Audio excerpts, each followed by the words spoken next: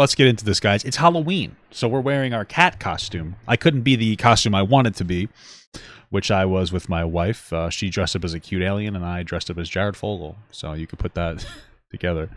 Wife said that's probably not appropriate to answer the door for trick or treating, so we rocked it out with a little cat costume, little cat shirt, and a nice little hat, goat hat, and no hair. The goat ate my hair. Not my fault. Goats eat anything. Am I right?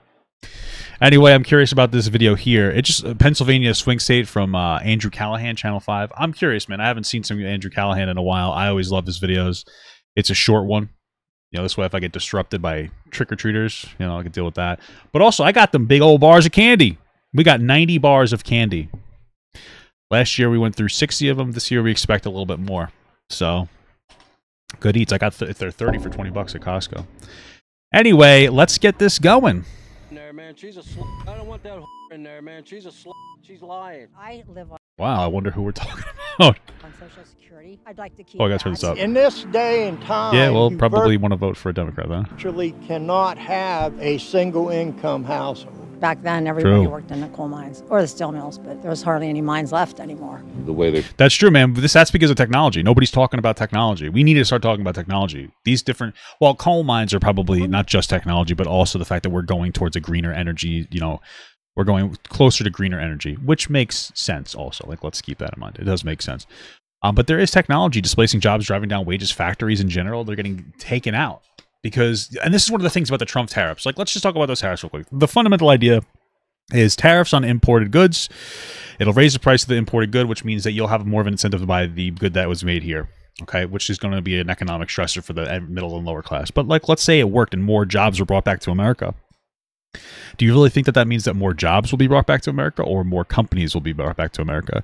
Because what's stopping these companies from picking them up and going, okay, we're going to invest in a big automated factory that's going to uh, hire one tenth of the workforce that they would used uh, used to have, what they may have used to have hired, and we're just going to suck all the money up as a rich person who owns the factory, and ha ha ha, no big deal. Because like, are there higher paying jobs with technology? Sure, the people have to fix the technology, but like the factory worker lines, those don't really exist. Those are disappearing. So even if the Trump tariffs work by bringing jobs back to America, it doesn't mean that we're going to be uh, we're going to have more jobs for people. Doesn't mean that people are going to be working those jobs. It might just mean factories are going to be able, like factory owners are going to be able to siphon that that income through like automation. Thank you for the ten dollars from Lee. Yo, what's up, Papa? Happy Halloween, brother. Hope you're doing well and having a good day. I am, brother. Happy Halloween to you too. are trying to get rid of coal, fossil fuels. I mean, I think it's the most important thing in my lifetime. Vote Trump 2024. He Probably shouldn't do that. He is the best man for the job. He's not. Even if we set aside the moral argument that he tried to insurrect the government, his policies are not good. He doesn't have good policies. Nothing is. Twenty percent tariffs is not going to be helpful for the lower middle class. Vote for Kamala Harris. Thank you. Yes, honestly, vote for Kamala Harris. Is it Kamala or Kamala? I still don't know, but that's the one you need to vote for. But the good conscience, I can't, you know what I mean? I can't vote. I'm about half sick of seeing this shit on YouTube. Every time I turn the damn TV on, it's fucking Kamala getting bashed by Trump, Trump getting bashed by Kamala. I don't give a fuck. Same That's fair. That's fair. I will say one thing. It, we obviously have higher standards for Kamala, but I I remember she was in like an interview with somebody and she was getting pushed, and a lot of her answers were Trump is bad, and he is bad. I understand that, but for voters that want substance, give me more about your policy than about how Trump is bad. You know what I mean? Like I and I know that that's a higher standard for her than Trump, but you know I don't. Trump is a loser. You know I would try to engage with a little more uh, decorum. You know, obviously when you're having the conversation, Trump did bad things, but then like talk about the good things that you're going to do. I would say make that more of a, a focal point for anything else. You know, I wish we would. I wish we would have more conversations because every single time like uh, something comes up, it's like Trump bad. But like explain why different things are happening. Explain to us why there's a border wall issue. I can explain it to you. We don't have a border wall issue as much as we have an asylum seeking process issue, right? A lot of people are coming through, especially after they were backlogged during COVID. People weren't really coming over. It was much more difficult. Things were shut down. So now a lot of them are coming through and they want to seek asylum. That's why there's a burst of people coming in here. What do we do about that? We need to expedite the process for asylum seeking um, to kick people out faster or to bring them in faster. Um, this way they don't get lost in the system going through the courts for two years. Put enough lawyers on there to get it done in a week. This way we can kick them out of the country if they don't have a, a valid asylum seeking process claim. Let's talk about the asylum seeking process. I think that as a country we have the responsibility to to deal with asylum seeking, especially since we are the world police and we put our hand in everybody's honeypot. So we should have to uh, do something to try to relieve some of the negative aspects that that bring that about. If you disagree, that's fine. Let's talk about the asylum seeking process. Let's talk about what should and shouldn't be valid in that process. That'll be a substantial amount of the issue because right now cartels can grab asylum seekers, throw them at the border. Border wall agents go to deal with those people, and the fucking the cartels can uh, zip around them. So let's let's deal, let's talk about the real problem. We don't talk about these problems. You know what I mean? We don't talk about like what's the specific issue, what's going on. We don't do that. Let's talk about that. Put a little bit more faith in the American people. I wish somebody would stop would stop saying we're going to cut a bunch of taxes. I, I know this sounds unpopular. I wish somebody would stop saying we're just going to continuously cut taxes because we're in a we're, we're in a spot where we need to where we need to not do that. We need to cut our deficit. We're reasonably healthy as a country economically. Things are a little tough right now. I'm not saying that they aren't, but like our inflation is pretty low. I think it's about 2.3 percent right now. We need to start our fucking deficit down. We need to get, you know, I don't want the president that's going to come in and give me more money. And actually, going to that, I don't need any more money. Right now, with my tax bracket, I should be getting taxed more, frankly.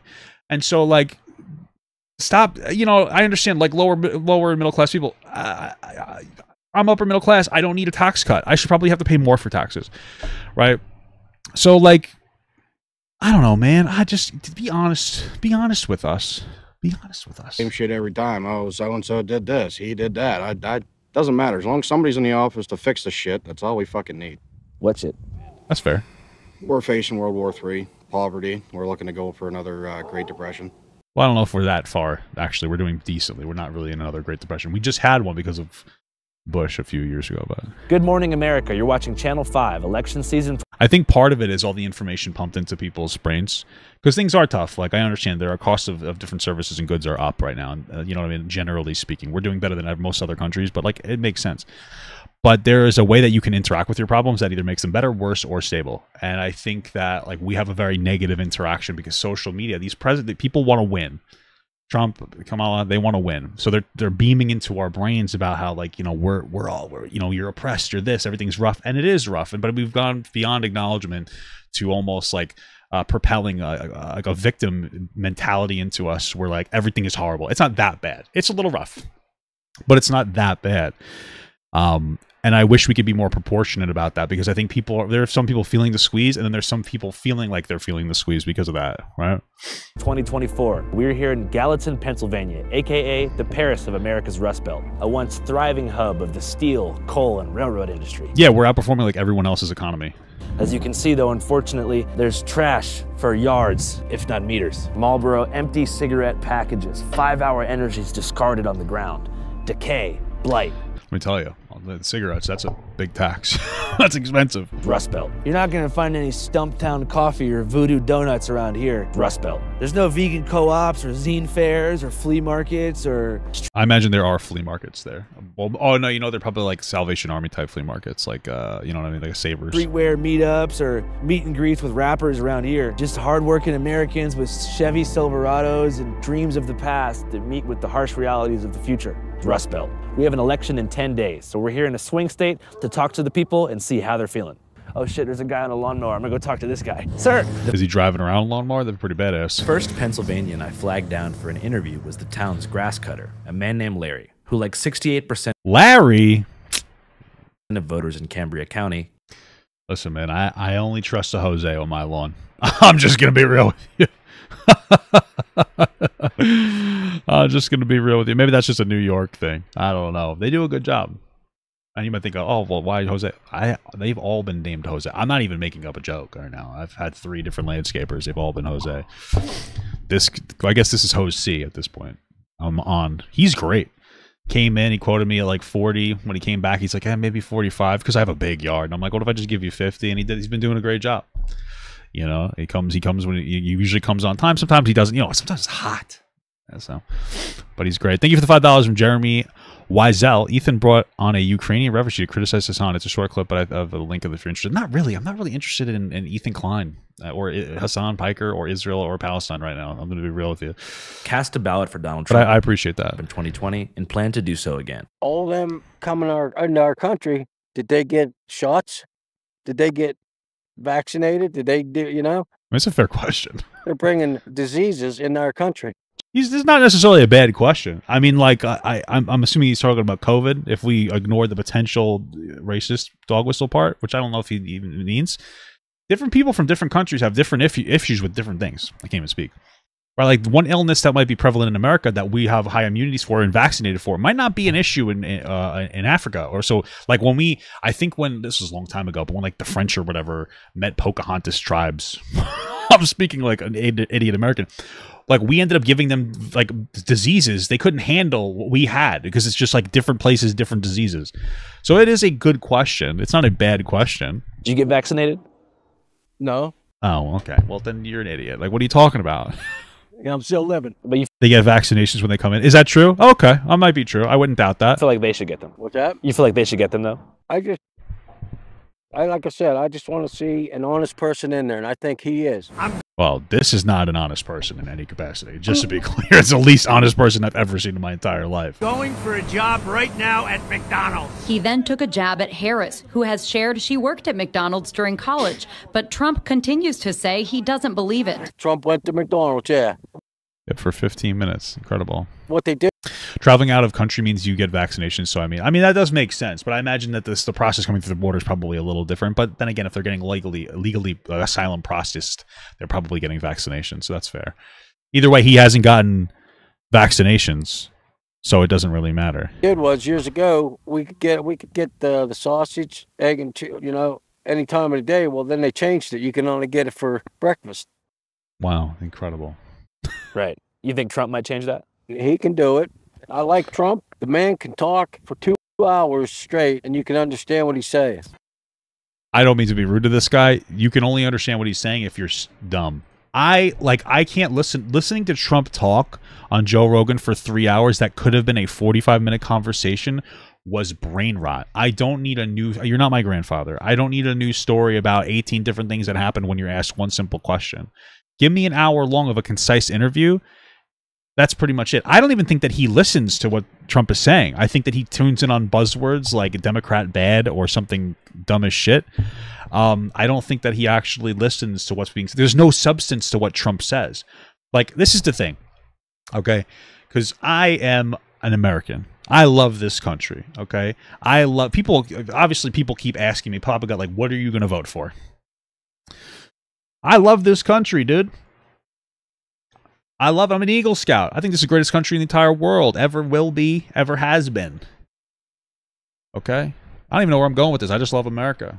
I don't even know where the fuck I was going with this. I forgot. I went on a tangent myself. We can't have somebody like me in the White House. That's my point. the hell's going on here? I don't know where the fuck I was going with this. Kamala, you're fired. Get out of here. I don't want that whore in there, man. She's a slut. She's What makes her a slut? She's lying. She- All they do is lie. What has she lied about? When you say Kamala is on some sort of slut behavior, what, what did she actually do?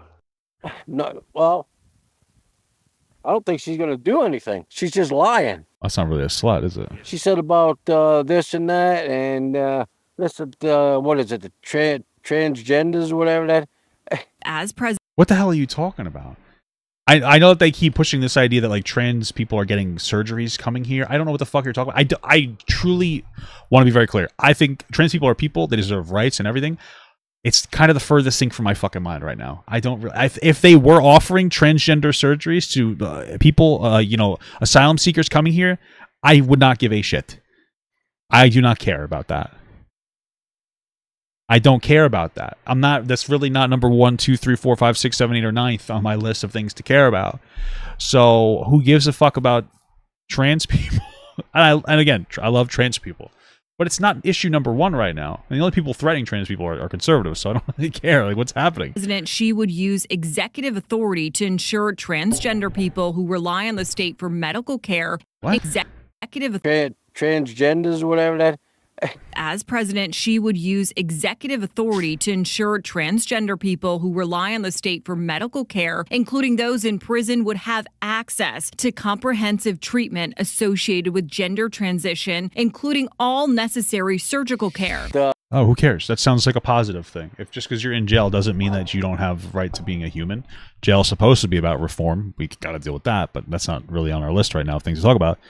Why would I care about this? Uh, yeah, I, I, I want to see Trump in there. Larry being my Why? first intro. Trump didn't do anything his whole presidency. What did he do? He came in, Well, he did tax cuts. Well, we didn't really need them. The economy was recovering from, you know, uh, the former Republican president. Obama recovered the party. He cut the annual federal deficit in half. Trump came and gave unnecessary tax cuts when we need to lower our deficit, and he surged our deficit by 50%, right? Up to a trillion dollars a year from $650 billion pre-COVID. So that was nice, but it's unnecessary. We shouldn't have done that. He couldn't do anything about uh, health care, which he promised to do. He didn't do anything about war, the border wall. He actually shot down a border wall bill. What did Trump do? He exacerbated issues in Israel and Palestine by not including Palestinians on the peace conversations with Israel and other Middle Eastern countries. What did Trump do? He had a fucking gay cosplay with that fucking with a North Korean leader. You know what? What did he do? I, I don't understand. What did Trump do that people like? What he did nothing. he really he was an ineffective president. and I always love people that are like, "Oh, uh, it's a conspiracy. They stole the election from Trump in, in you know in 2020." If it's a conspiracy, then how the fuck did he get the president in the first place? Why would he even be able? If it's all conspiracy and there's a deep state and Hillary Clinton's part of the deep state PizzaGate pedophile, uh, you know, cuck ring, and then how the fuck did she lose the election to Trump?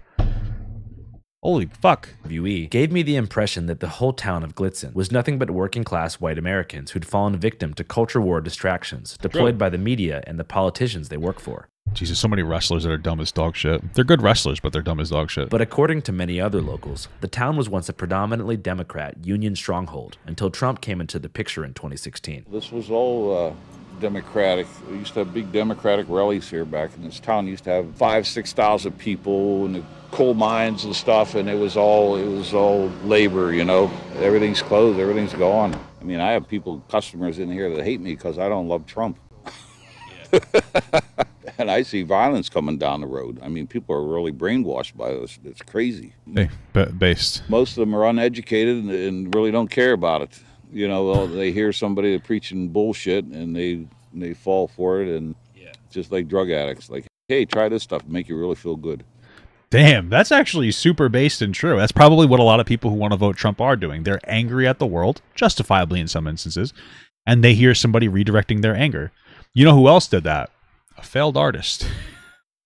That's why we let every artist into school, by the way. Everybody's like, oh, why do we have all these art degrees and gender studies? Last time we stopped an artist from doing a thing, they did a worse thing. Okay, so like I never went to college, but I'm right. not, you know, that naive to believe in this horse shit. Part of the pro Trump fervor that sees certain parts of the state is a result of direct campaigning. Pennsylvania is one of the seven swing states on the ballot, a term that refers to politically diverse states that have a chance of either voting red or blue, and it's small towns like Gallitzin that matter most to the Trump campaign. Virtually all of Pennsylvania. Do they matter? Did those towns matter to Trump or Kamala after after the campaign's over, or how does that work? Is major population centers. Philadelphia, Pittsburgh, State College, Erie, and Harrisburg all lean strongly Democrat, but the rural Wait, Did I just see Philadelphia, Pittsburgh, State College, Erie, and Harrisburg? I saw Shane Gillis, but what the hell is he doing there? All lean strongly Democrat, there. but the rural counties between the cities, particularly in western PA, compose the largest conservative voting bloc in the state. So Trump has been here heavy, promising to bring back coal mining and steel manufacturing, industries that have been in dramatic decline since the 1950s. I honestly think mining's done. This came as a result of a few factors, such as automation and technological advancement. But the prime Yeah, and we're just not talking about it enough. We're just really not talking about it enough. That's what we really need to be talking about is technology. The Primary driver in the economic collapse of the Rust Belt was globalization, wherein corporations betrayed the unions and outsourced labor to countries with lower wages and raw material costs. We are going to put our coal miners back to work yeah, I just it's such a and this is again I wish we'd have honesty. One of those things where you say like these this is just going away. It's so it's such an unfortunate thing because you know we've been really technologically revolutionizing uh, really I mean for a very long time, but it's been going quick lately. Really quick lately. Like insanely quick. And um it's difficult to keep up with it. And you have these factory towns or these coal mining towns or these different towns where, you know, everybody there's there's one big source of economic infrastructure. And that is the factory. That is the coal mine. And so those jobs produce decent wealth for people. They go and they work those jobs. They bring that money home. They buy groceries with it. They buy cars with it. They television. They do hobbies with it. They do a bunch of stuff, and that pumps money through the economy. And then those jobs unfortunately disappear and you know there's one first second third generation people doing that same job you know dad does it grandpa does it, the son does it. And these jobs are disappearing because that's unfortunately the way things are going. We're getting cleaner um, energy wise, which we need to be in a reasonable pace. and we're using factories to displace certain jobs, or excuse me, technology to displace certain jobs. And people are just losing their jobs and they're unfortunately not coming back. And it's like, what do you do with those people? What do you do with the people that think that like for three generations that they're just going to be, oh, I'm just going to be a coal miner like that. Oh, I'm going to go work in the Ford factory like that. I'm going to go work in the Tyson chicken nugget factory. It sounds silly, but this is real. And then your your your factory goes out, and then you're on welfare now. And what does welfare do? It's like bare minimum life support. It's not really an economic boom. It keeps that town alive, but it also keeps that town bored it doesn't encourage money to flow through it. It doesn't encourage you to get a job because it's difficult. You're on welfare. You get a job, you lose welfare. You want to get paid less off welfare. Why the fuck would you get a job? Or you might lose the welfare, uh, and then if you lost a job, you you struggle to get back on welfare, or you struggle to get welfare uh, that was as much as you had before. There's so many problems. It's like how do you deal with this issue? and like you know honestly some kind of a negative income tax some kind of universal basic income tax people like rich people and technologies more and you know uh, give a break to some of these people who don't make money Uncon- I like a UBI or a negative income tax because it's unconditional. You know, you don't have to be told if you make too much money, you lose your thing. You're just going to have a certain amount of money made. There's something there. So there's something. we got we got to think of something. We got to start thinking in our brains of what the fuck we're going to do about this. Um, this is something that we like legitimately have to think of. Thank you for the five dollars from Bueller. Think about it. We can vote Trump in. Uh, it will be bad, but at least we'll have supersized option back at McDonald's to carry us through. And then, uh, thank you for all the emojis. I wish I could say those: American flag, eagle scream, praying, a burger, fry. Incredible. Despite Trump's promises, U.S. coal jobs went down 24% during his previous term in 2016. Damn. That wasn't necessarily all his fault. Every bill he proposed was shot down by a then Democrat majority Congress, who cited the often dangerous working conditions inside the mines themselves. True, but here's my thing, and I think that this is something to agree with. When Biden was in was when Bi- I know I'm rambling. When Biden was a president, he was able to pass bipartisan legislation, the CHIPS Act, massive economic infrastructure bill. Okay, why can't Trump do the same? The only the like the biggest bipartisan bill he pressured Republicans to shut down, and that was border wall legislation that would have put more lawyers at the border to expedite the process of asylum seekers, and also more man- manpower on the border wall and more financial infrastructure. And it's like if your president comes in and they can't, and they and for two years he had like a stack, he had the entire, he had like the, the Congress for two years, the Senate and the House for two years, he couldn't get anything passed. That's a failure as a president. If you can't, if you have a stacked Congress and you still can't pass legislation, you're a failure as a president. You're a failure as a president. So what are you going to do? And more importantly, environmental concerns associated with coal mines. True. Coal releases more carbon emissions and greenhouse yeah, Inflation Reduction Act, yeah, yeah. gases than any other energy source and is considered to be a major driver of climate change and global warming in the area. Thank you for two dollars from Jane Monet. These are my actual neighbors. I moved. I moved. Uh, I moved for to trade. Oh, you live around here? That's crazy. Thank you for the 16 month King Gut from Jax too. Thank you so much, brother. I really appreciate that. How are we doing? Not too bad, brother. Which I agree. You know, I see. I live. What's the thing is these are like carcinogens that get pumped into the air, and these give people cancer over a long period of time. Which is why we need to be like, hmm, maybe we shouldn't have all this shit pumped into our fucking atmosphere. Here all my life, and I see the winter. We don't have winter anymore here. I mean, we used to used to be able. The roads used to be impassable. True. I remember during COVID, I continued to work, and everything was shut down the weather was beautiful. I know that's anecdotal, but I worked uh, 10 summers, 10 COVID, or excuse me, 10 summers, and they were horrific. Hot, sweaty, humid as fuck. You got to work outside in that, and you're just sticky the whole time. I remember the summer during COVID when everything was shut down, nobody was going out. It's the most beautiful summer I've ever felt. And I was like, wow. And like maybe they're completely unrelated, but I don't think that they are. And it's like, we're really destroying the atmosphere. We got to do something about this. Um, when I was a kid growing up here, was, the snowstorms were so violent, it was crazy. And now we get nothing. So there's, you know, people don't believe in climate change. Well, where, what the hell happened to winter? Yeah, they don't uh, believe in climate change until they come up with a magical conspiracy that Democrats are destroying certain towns um, with hurricanes so that they could take the lithium that the country, that, that the government already owns from the towns. It's incredible. In the middle of Pennsylvania.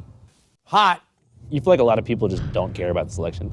Yeah, That's honestly. fair. I think we're screwed either way, and I think the whole country thinks the same thing. Yeah, they might, but Kamala Harris is legitimate. She's actually qualified, just to be clear. On hand, you got a, you got a guy that's a liar and a, a thief wants wants to be a dictator, wants to take care of all his buddies. Bro, I heard Elon Musk say something like this will be like the last election if you don't vote for Trump. What a fear mongering piece of dog shit. What a legitimate fucking loser. Like that's insane. You know, because even I'm I don't want Trump to win, but even if he wins, it's not going to be the end of the country. It's going to be the end of people thinking Trump's a good president. He will be ineffective when he if he gets elected again. He will pass nothing again. So I don't care. Thank you for two dollars from Jonathan F. I am sticky, incredible stuff, and thank you for the twenty-two month small gut from Hugh Janus. Do the thug shake. Okay. The rich and wealthy, and the other party they just don't give a shit. And where do we stay? Down where they want us. As I hung out at the gas Maybe. station in town, I could sense a general feeling of disillusionment with the upcoming election. Honestly, just lower prices is all I want. Honestly, I'm tired of it. After all, both parties had their chance. Four years to change things in Cambria County, PA, and neither Democrats or Republicans succeeded in raising the median household income to above $55,000 per year, or decreasing the poverty rate below where it currently sits at 16.9%, six points above the national average. I just want shit to be over. What are the main concerns that face your life on a day to day basis? Spending upwards of three fifty, four dollars a gallon for gas, three hundred dollars for fucking ten things from the grocery store. Even when I was trying to find my place here, it's I spent probably a good two, three months looking around. It's just not feasible for anybody. If they wanted to buy a house now, you you're screwed. It's hard to live, you know, day by day. It's hard to even get health insurance anymore for the hardworking people.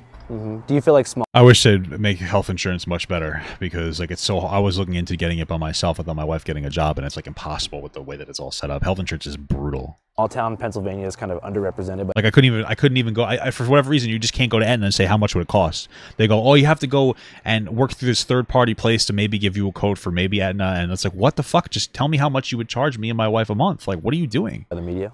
Yeah, I do. Until now. Sorry. Mm-hmm. Day by day. Small town Pennsylvania is kind of underrepresented by the media. Yeah, I do. Until now, what's up, guys? As you know, one of our mission statements here at Channel 5 is to give you guys a raw, unbiased, unfiltered look at reality, but with a particular emphasis on certain places that aren't covered by the mainstream press. But before we hit the road and chase a news story, we like to use a service called Ground News, which helps us research how both sides of the mainstream press cover a story as it unfolds. Among other things, Ground News is a dope ass news aggregate that compiles thousands of articles from all across the web and ranks them in terms of slant with their bias distribution tool, which allows you to peruse news headlines and scan coverage with a more balanced perspective. Let's use an example with the election. It's a very divisive time. It says right here that in Pennsylvania, 2,500 voter registration forms are already being investigated for possible fraud. As you can see, 47% of the coverage is center, right down the middle, with 23% to the left and 30% to the right. These pretty even margins on the ground news bias distribution table tell me that most likely Aren't they like lighting like voting boxes on fire? I saw like some of these like ballot boxes are getting lit on fire. It's fucking insane. This story is rooted in fact and likely is something that we at Channel 5 want to cover in the future. They also have a dope ass tool called Blind Spot that allows you to see articles not being covered by the left or the right, and also tracks the corporate ownership associated with certain publications that push sensational. I saw one of them was Bezos. Apparently, because Bezos said that they they're pulling like a like a uh, what is it like a personal piece, the opinion piece on on presidency that was probably going to be in favor of Kamala Harris. I forget which institution it was. It might have been like the fucking I don't know. It was some like big newspaper. I forget which one it is. Uh, Washington Post or something. I don't know. Bezos pulled it, and apparently the reason why is because he owns other companies, and uh, Trump said that he would like look into him uh, if he if he if, if Trump gets the election, and then like I, I don't remember the specifics, but if uh, if that piece came out, it was a very bizarre thing. I forget the specifics. I probably should have been able to communicate that better. Thank you for the two dollars from Borigasso. Can I watch the Destiny verse twenty? No, I can't do Jubilee videos, brother. I use Z King for the five dollars. Uh, do you think Trump is more popular than Kamala? I feel like the combined with lack of votes is a factor as to why the polls are so close. Here's my thing. Uh, I don't really know. I'm really happy that Trump is doing well in the polls because back in 2016, Trump was doing very poorly in the polls and then he won. And I think part of that, among other reasons, was because people said, ah, he's going to lose anyway. I don't have to go vote. Well, now you're afraid Trump might win, so get your dumb fucking ass out there and go vote for Kamala Harris. So My story is to serve an agenda. Full disclosure, it does cost money. As it should. It's the best in the business. Let me tell you why. When you subscribe, you'll get access to a personalized dashboard that figures out what your biases are. And what if I told you I can help you get 50% off of their Vantage subscription? Just go to www.ground.news slash channel 5 or scan this QR code right here and you'll get 50% off the Vantage subscription. I'm going to go ahead and put the link in the description and the pinned comment. Again, that's www.ground.news slash channel 5. All right, back to the mean, rugged streets of Gallitzin, Pennsylvania. On my way out of town to visit a serpent handling church in the mountains of West Virginia, what the fuck are they doing? I noticed something interesting, which was the A, ser- a, a serpent handling church? The one and only house in Gallitzin, adorned with in your face Harris wall signs, both in the yard, on the house, and inside all the windows. So I decided to give the door a knock to see if the occupants would be down to do an interview. So he can wear like a nice suit or whatever and wear a hat, but my wife yells at me when I try to. Okay. There was one man and two women living. I feel like I should be able to go to a wedding with a nice slick bald head in a nice suit with a nice professional hat on that matches the uh the actual shirt I'm wearing. Right? In the house. The man did not want to be on camera, but the two women agreed to share their perspectives. The first was okay with having her face shown, but the second woman asked us to blur her out entirely, claiming that her physical safety would be in danger if the town's conservative majority saw her publicly disparaging Donald Trump. Around here, Uh, that's an interesting fear. I don't think I, any I don't think any Harris supporter would ever have that fear. Or, or excuse me, any Trump supporter would ever have the fear of disparaging Harris. But there are people in public that feel like they might be threatened if they disparage Trump. Is fucking insane. I'd say everybody wants him thinking he's going to bring it back coal, he's going to bring back um, oil, he's going to bring back all, all this other stuff. Well, if he hasn't done it the first time around, he's using that just to get in office. True. This person is very right and very smart. What are the promises he made about steel? The only steel we're going to use in America is going to be American made steel. We are also going to keep U.S. steel right here in America. How do you do that? It's going to drastically raise prices for people. How is that going to magically happen? American steel. American steel. American steel. He just says things. It's insane. Well, that wasn't true.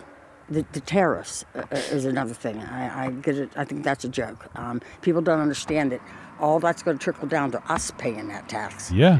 Us, not not not China or whoever else he says. You know that we're, that we're not going to be responsible. Well, who else is? We're the one. We're the last people to totem pole. It's going to go from here to here to here to here to us, and we're going to end up paying it. When you say the bottom of the totem pole, you feel like the working class is what you're Mhm. talking about? Yeah, I mean that is the bottom of the totem pole. Like that's the that's it's not even the work well the working class, the consumer, right? The working class consumer is going to be the biggest person to pay that. Like if you raised goods by twenty percent coming from China, that means that you're basically going to be paying twenty percent more for goods in general, because the the opposition uh, product is still going to be much more expensive. So even if it's only ten percent, it's still going to be more money. Yeah, the working class. Uh-huh. Vote for Kamala Harris. Thank you. What are some of the policies of hers that you like? I live on Social Security. I'd like to keep that. There Yeah. are many seniors in our country Yeah, and Trump, uh, conservatives in general, like it's so funny because it, sometimes I think that we talk about how good the Republican Party was before Trump. They weren't, to be honest with you. They're constantly trying to engage in incredibly unnecessary spending, which is usually increased military spending, despite the fact that we've spent an extraordinary amount of money, and cutting Social Security and other welfare benefits that have kept the country afloat since the Great Depression. In fact, these are things that kept the country from going back into uh, depressions that were as bad, you know, until another conservative president came in and fucked things up, Mr. Bush. Um, but that's pretty much it. It's like slash these different um, welfare systems that have been helping the country a lot, and raise uh, money for more more money to our military industrial complex, but then don't give any more money to schools. It's like what the fuck? It's just they were always and we hate gays. That's pretty much what it's always been, unfortunately. And I don't know that I don't think that all conservatives hate gays. I know there are gay conservatives, but the reality is is that if you if you're voting conservative, you're probably voting to restrict gay people's rights. So it's just kind of the reality. It might not be a big thing in your brain, which is why you don't necessarily care, but you know. Anyway, conservatives have never been that good. And they're they, well, I don't want to say never, but like in my lifetime, they've never been particularly good. It's mostly just like idiot noise. Uh, we want to cut all your welfare shit and make uh, healthcare and education worse for you. But now it's psychotic. I'm going to instruct the government, and that's okay. You know, rhetoric. That Social Security is their only form of income. His policy would actually render the Social Security fund empty, essentially, um, in six years. I don't want any cuts in that. And um, Roe should have never been overturned. I I agree with that. myself, many years ago, needed a procedure. It's up to the woman. And I like her, her ideas for. Um, Sure. I mean, I think that we should have some reasonable restrictions. I personally am like a first trimester guy, unless there's a threat to the the mother or uh, the life of the mother or the fetus or whatever the fuck development phase it's in. You know, that's that's where I'm at. You know, but like you should be able to have that choice. Thank you for the small gut from Darry, Darren Yee. Appreciate that. um, helping first time home owners. As the price of housing has gone up, the size of down payments have gone up as well. True. My administration will provide first time home buyers with $25,000 to help with the down payment on a new home. It's something. I don't think it fixes the big problem of like these um Uh, of big businesses or, or corporations taking like buying houses, flipping them, and then like selling shoddy housework. But it's something. It's a it's a step in the right direction. I mean, really, the way that I think you'd open up the housing market is you have to get people to be able to live in more places. Right now, obviously, you're going to work around a job, but if we can figure out how to empower smaller local economies and bring more jobs to other areas, which a conversation about a negative income tax or UBI would be the in, in place. And it would allow for more houses to be available for people to buy those houses, et cetera, et cetera. Thank you for the 23 month small gut from Callie Ray. Happy Halloween. Happy Halloween. I think that's a really good idea because, you know, housing, there's a housing shortage. I like her ideas about the housing shortage because there is a big one.